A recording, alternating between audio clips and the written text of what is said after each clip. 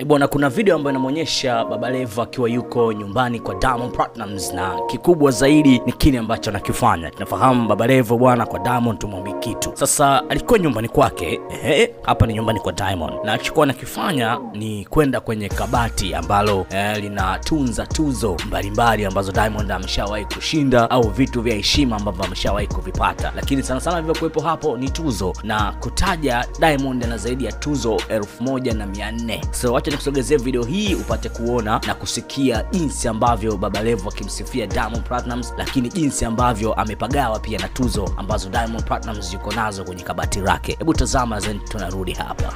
ni utitiri Na Diamond ana tuzo jamani. Ah! Kwa kweli ni, utitiri, ni utitiri wa tuzo. Ah, sijaona labda hii na nini? Kuna moja ni kama aliact movie, si ya movie. Ina mambo ya movie. Ni ya nini Mozi? Hii. hiyo ni movie Eh, Video bora Ah, ni video bora. Diamond mpaka CCM. Oye, oye. Sema yeye sasa ndo Makabila anayo hii. Ah, sio kama hiyo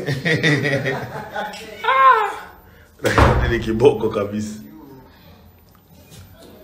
Mkiambiwaga mambo ya tuzo ni nyingi, mzigo huwa tuzo ni elfu moja mia nne.